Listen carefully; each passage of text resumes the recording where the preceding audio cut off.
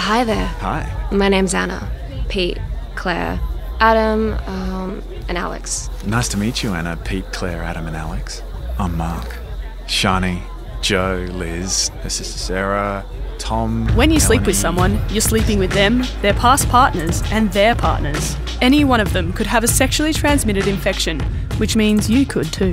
So always wear a condom and take a free online test at couldihaveit.com.au or visit a GP or sexual health clinic.